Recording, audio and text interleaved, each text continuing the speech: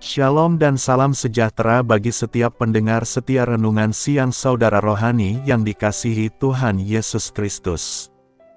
Kembali saudara akan diberkati melalui renungan firman Tuhan dan saudara kali ini akan didoakan. Semoga saudara yang terkasih dalam keadaan sehat selalu, kiranya damai dan sukacita roh kudus melimpah di dalam hati dan pikiran saudara saat ini. Sebelum kita mulai renungan pada siang hari ini, marilah kita bersama-sama berdoa. Tuhan yang bertahta di kerajaan sorga, Bapa yang kami kenal di dalam Tuhan Yesus Kristus. Terima kasih atas penyertaan yang Tuhan berikan kepada kami atas siang hari yang indah ini. Terima kasih telah memberi kami kesempatan untuk selalu dapat bersyukur atas segala pekerjaan yang kami kerjakan. Maka dari itu, kami mohon kiranya Tuhan berkenan menyertai kami selalu di sepanjang hari ini. Terima kasih atas berkat-Mu hingga saat ini kami masih bisa merasakan kebaikan-Mu dan buatlah agar kami selalu mengucap syukur kepadamu. Tuhan Yesus Kristus, terima kasih pada saat ini kami masih bisa bekerja. Tuhan, saat ini kami akan memulai pekerjaan kami. Berkatilah pekerjaan ini dan sertailah sepanjang kami selama bekerja pada hari ini, agar menjadi berkat bagi kami, bagi keluarga kami dan juga tempat kami bekerja. Berkati seluruhnya rencana kami pada siang hari ini, agar berjalan dengan baik, dan menjadi berkat untuk kami jalani bersama dengan anak Tuhan yang lainnya. Permudahlah jalan rejeki kami dan keluarga kami Tuhan, bagi anak-anak kami yang ingin bekerja, yang sedang interview kerja, mencari pekerjaan dan jemaat kami yang sedang dalam proses mencari pekerjaan, kiranya Tuhan memberi kemenangan dan jalan terbaik. Terima kasih atas penyertaan yang selalu Tuhan bagi kami, dan terima kasih Tuhan atas rencana indah yang telah Tuhan siapkan bagi kami. Bukalah pikiran dan hati kami karena kami akan mendengarkan doa siang saat ini, ubahlah diri kami menjadi lebih baik lagi. Dalam nama Tuhan Yesus, kami berdoa. Amin. Sahabat pendengar saudara rohani, judul renungan kita hari ini adalah upah yang layak dikejar. Dan pembacaan ayat emas Alkitab untuk renungan kita hari ini. Terambil dari kitab Matius 6 ayat 3 sampai dengan ayat 4 berkata, Tetapi jika engkau memberi sedekah, janganlah diketahui tangan kirimu apa yang diperbuat tangan kananmu, hendaklah sedekahmu itu diberikan dengan tersembunyi. Maka Bapamu yang melihat yang tersembunyi akan membalasnya kepadamu. Mari kita mulai renungan kita. Pendengar saudara rohani yang dikasihi dan diberkati Tuhan Yesus. Mari saya ulang kembali nats renungan kita hari ini. Terambil dari kitab Matius 6 ayat 1 sampai dengan ayat 4 berkata, Ingatlah, jangan kamu melakukan kewajiban agamamu di hadapan orang supaya dilihat mereka. Karena jika demikian, kamu tidak beroleh upah dari Bapamu yang di sorga. Jadi apabila engkau memberi sedekah, janganlah engkau mencanangkan hal itu, seperti yang dilakukan orang munafik di rumah-rumah ibadat dan di lorong-lorong, supaya mereka dipuji orang. Aku berkata kepadamu, sesungguhnya mereka sudah mendapat upahnya, tetapi jika engkau memberi sedekah, janganlah diketahui tangan kirimu apa yang diperbuat tangan kananmu, hendaklah sedekahmu itu diberikan dengan tersembunyi, maka Bapamu yang melihat yang tersembunyi akan membalasnya kepadamu. Mari kita mulai kisah inspiratif. Saya seperti tersentak saat menonton tayangan mengenai seseorang yang nampak tersinggung ketika ia hendak diberi sembako. Tetapi si pemberi meminta izin untuk memotret dirinya. Ia pun berniat untuk bertukar posisi sebagai pemberi, lalu ingin melakukan hal yang sama seperti yang semula hendak diterapkan kepadanya. Hasilnya pun bisa ditebak, Orang yang semula berniat memberi dengan maksud untuk dipamerkan ke media sosialnya itu pun menolak. Yesus sedang mengajarkan pentingnya kemurnian hati ketika melarang pengikutnya untuk melakukan kewajiban agama, dalam hal bersedekah dan berdoa demi dilihat atau dipuji oleh manusia. Jelas pula disebutkan bahwa motivasi hati seperti ini akan langsung menggugurkan upah yang sebenarnya telah Bapak persiapkan. Betapa seriusnya pesan ini sehingga kondisi hanya dilihat orang pun sudah menyebabkan seorang percaya kehilangan upah dari Allah. Memang tidak mudah untuk melakukan hal ini karena saat ini sarana untuk memamerkan segala sesuatu, termasuk kegiatan kerohanian, bisa dibilang sangat berlimpah dan tinggal pilih saja. Sungguh tidak mudah menjaga kemurnian hati saat melakukan kewajiban agama pada era sosial media seperti sekarang. Namun, jika kita hendak mengejar upah dari Bapa Surgawi, tak ada cara lain kecuali menuruti nasihat yang Yesus ajarkan tadi. Ingat, standar firman Allah tidak berubah hanya karena kita hidup pada zaman sekarang. Justru, semakin susah pengajaran Yesus kita lakukan, upah yang Allah sediakan semakin layak untuk dikejar. Upah dari Allah layak dikejar karena takkan pernah sebanding dengan upah dari manusia. Demikian renungan dan khotbah kita pada siang hari ini. Doa saya menyertai saudara sekalian. Marilah kita melaksanakan doa syafaat sejenak. Ya Allah, berilah kami hati yang penuh damai serta hikmat, agar kami tidak gampang bertengkar dengan sesama. Amin, amin. Sampaikan harapan dan permintaan saudara kepada Tuhan.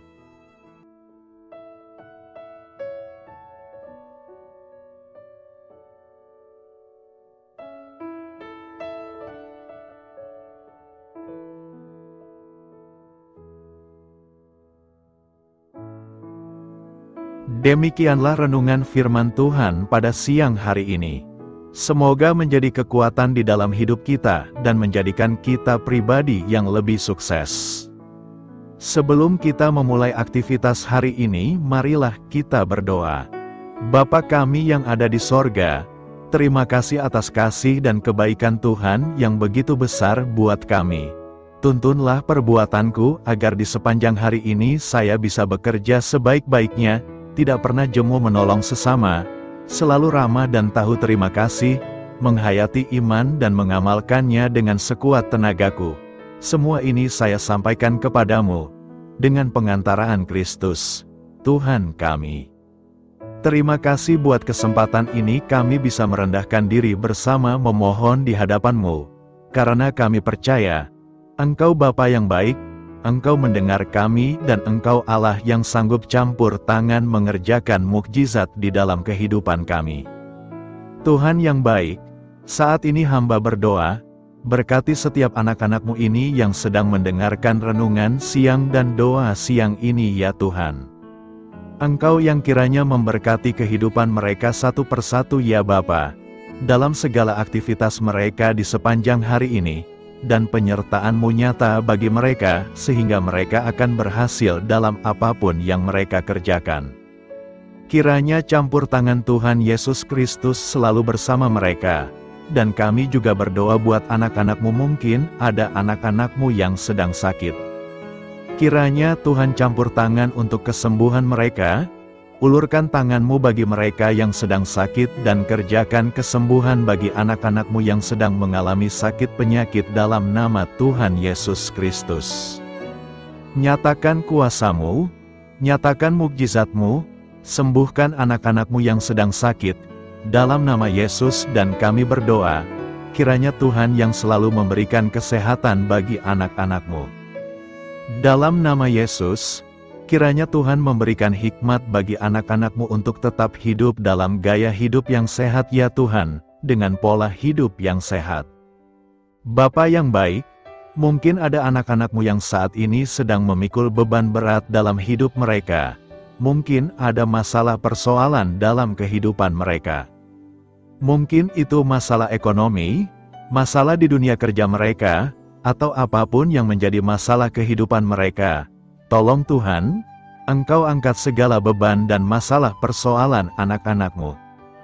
Tuhan yang mengerjakan pertolongan dalam kehidupan anak-anakmu, saat ini hamba berdoa, berkati keluarga anak-anakmu, Semoga menjadi keluarga yang harmonis dan menjadi keluarga yang takut akan Tuhan dan menjadi keluarga yang beriman. Dan juga untuk suami, istri dan anak-anak mereka semuanya untuk takut akan Tuhan, dan mereka berfungsi sebagaimana seharusnya di tengah-tengah keluarga. Berkati keluarga anak-anakmu agar menjadi keluarga yang penuh dengan berkat dan damai sejahtera dan penuh sukacita. Saat ini kami berdoa, kiranya Tuhan memberkati semua anak-anakmu. Jadikan mereka berhasil dalam semua yang mereka kerjakan. Ajar semua anak-anakmu mengerjakan yang terbaik dalam kehidupan mereka. Terima kasih Tuhan yang baik. Inilah doa kami dan ini seruan kami anakmu. Berdoa bagi setiap anak-anak Tuhan biarlah kuasamu, mukjizatmu, berkatmu melimpah dalam kehidupan mereka, Jadikan mereka pemenang dan nyatakan campur tanganmu dalam hidup mereka. Biarlah anak-anakmu bersaksi dalam hidup mereka ketika engkau menyatakan pertolonganmu. Berkat-berkatmu dicurah dan kasih karuniamu dinyatakan di dalam kehidupan mereka. Ya Tuhan, Engkau yang menyertai setiap langkah anak-anakmu. Biarlah sukacita dan damai sejahtera Tuhan memenuhi setiap aliran kehidupan anak-anakmu ini, biarlah damaimu memenuhi kehidupan mereka dalam mereka melakukan segala kegiatan mereka. Sukacita kiranya memenuhi kehidupan mereka dalam mereka mengerjakan pekerjaan mereka sehingga mereka maksimal dan berhasil berkat Tuhan yang tercurah dalam kehidupan mereka. Bapa yang baik, biarlah pekerjaan mereka menuai keberhasilan di dalam apa yang mereka kerjakan ya Tuhan. Ketika Engkau mengerjakan keberhasilan, maka engkau akan memberi yang terbaik. Engkau mengerjakan keberhasilan yang terbaik dalam kehidupan setiap anak-anakmu, dalam nama Tuhan Yesus Kristus. Terima kasih Bapa yang baik, dalam apa pun yang mereka kerjakan, berikan mereka hikmat untuk mengerjakan yang terbaik. Berikan mereka hikmat untuk melakukan tugas tanggung jawab dan pekerjaan mereka, sehingga oleh hikmatmu yang memenuhi kehidupan mereka, mereka bisa berhasil dalam apa pun yang mereka kerjakan yang tidak bertentangan dengan firman Tuhan. Dalam nama Tuhan Yesus, hikmatmu kiranya memenuhi anak-anakmu, dan menjadikan setiap anak-anakmu berhasil dalam nama Yesus Kristus. Bapa yang baik, hamba berdoa, ajar anak-anakmu untuk mengerjakan yang terbaik sebagai anak-anak Allah. Berkati kami Tuhan, memampukan kami untuk mengerjakan yang terbaik dalam segala apa yang kami kerjakan, dalam kehidupan kami. Berkati anak-anakmu Tuhan, ajar anak-anakmu mengerjakan yang terbaik, mengerjakan lebih dari apa yang dituntut, mengerjakan lebih dari apa yang seharusnya dikerjakan dalam nama Tuhan Yesus Kristus. Bapa yang baik, saat ini kami berdoa bagi setiap profesi-profesi anak-anakmu Bapa, kiranya Tuhan memberkati setiap anak-anakmu, berkati mereka sebagai pengusaha, pebisnis dan kiranya Tuhan memberkati apa yang menjadi usaha bisnis mereka. Biar Tuhan mengerjakan keberhasilan di tengah-tengah usaha dan bisnis mereka, berkati usaha dan bisnis anak-anakmu. Biarlah dalam keadaan sulit dan dalam keadaan berat sekalipun, Tuhan yang mengerjakan keberhasilan dalam usaha dan bisnis anak-anakmu. Engkau yang memberi mereka hikmat untuk bisa membawa usaha bisnis mereka kepada keberhasilan yang dikerjakan oleh Tuhan dalam nama Yesus, sehingga hidup mereka jadi kemuliaan bagi namamu, usaha bisnis mereka berhasil sehingga menjadi berkat bagimu. Bagi pekerja dan juga bagi banyak orang, dalam nama Tuhan Yesus Kristus yang baik, Berkati juga anak-anakmu yang berprofesi sebagai petani. Kiranya apa yang mereka tanam agar dapat menuai baik, sehingga mereka akan berhasil dan akan menuai hasil yang luar biasa dengan penuh sorak-sorai dalam nama Tuhan. Berkati juga para petani musiman ini, berkati cuaca, berkati musim demi musim sehingga mereka bisa berhasil ya Bapa. Berkati juga para nelayan, Tuhan yang campur tangan bagi anak-anakmu yang berprofesi sebagai nelayan. Tuhan memberkati pelayaran mereka untuk menangkap ikan, agar mereka bisa berhasil. Tuhan menjaga melindungi mereka dalam nama pelayarannya ya Tuhan. Berkatilah kiranya semua para pedagang, kiranya Tuhan memberkati apa yang mereka perjualbelikan yang tidak bertentangan dengan firman-Mu. Kiranya Engkau memberkati dalam nama anakmu, Yesus Kristus. Tuhan yang baik, berkati juga mereka para buruh kasar dan tukang. Campur tangan dan berkati kehidupan mereka, kiranya Tuhan menjaga, melindungi di dunia kerja mereka. Kiranya, angka kehidupan dan ekonomi mereka, Tuhan memberkati kehidupan mereka. Lindungi anak-anakmu yang berprofesi sebagai buruh ya Tuhan, dalam nama Tuhan Yesus Kristus. Bapa yang baik engkau juga memberkati anak-anakmu yang berprofesi sebagai pegawai, karyawan dalam bidang apa pun yang mereka kerjakan ya Tuhan. Tuhan kira selalu memberkati kehidupan mereka. Berkati apa yang mereka kerjakan. Berkati mereka agar mereka dapat dipromosikan ke jenjang yang lebih tinggi. Berkati kehidupan mereka, ekonomi mereka, berkati dalam nama Tuhan Yesus Kristus. Tuhan yang campur tangan bagi setiap anak-anakmu yang berprofesi sebagai karyawan dan pegawai, berkati para PNS atau pegawai negeri sipil ya Tuhan. Kiranya Tuhan yang campur tangan, berkati kehidupan mereka untuk mengabdi bagi bangsa dan negara ini ya Tuhan. Berkati mereka yang berprofesi sebagai PNS dalam bidang apa pun mereka jadikan anak-anakmu ini jadi berkat bagi kemuliaan namamu Tuhan. Berkati juga tentara dan polisi ya Tuhan, dalam mereka menjaga keamanan dan kedaulatan bangsa ini.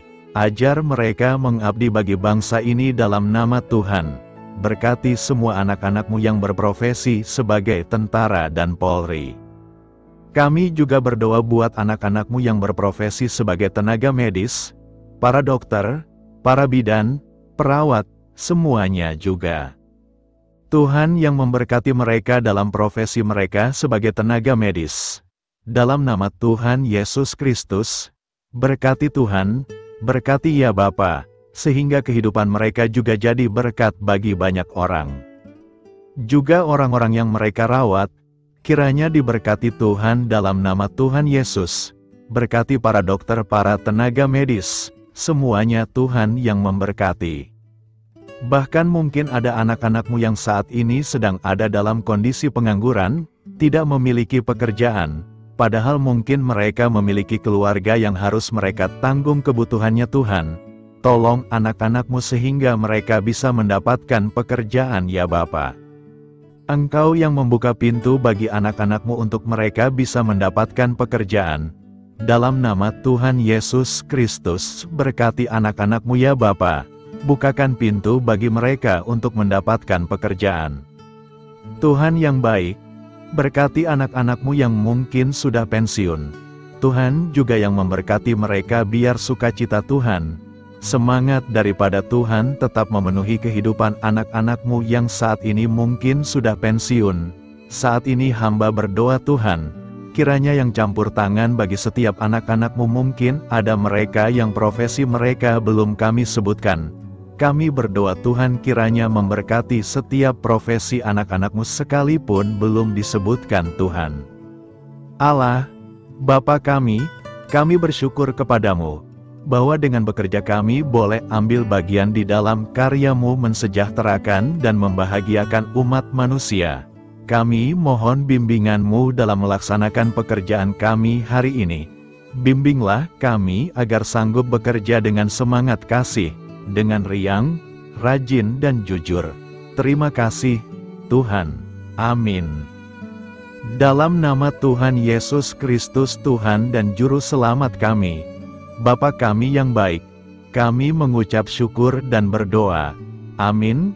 Biarlah firman Tuhan menjadi pengingat untuk kita semua, bahwa tuntunan dari Roh Kudus akan selalu memberi jalan keluar bagi setiap permasalahan hidup kita dan memberi kedamaian di hati kita.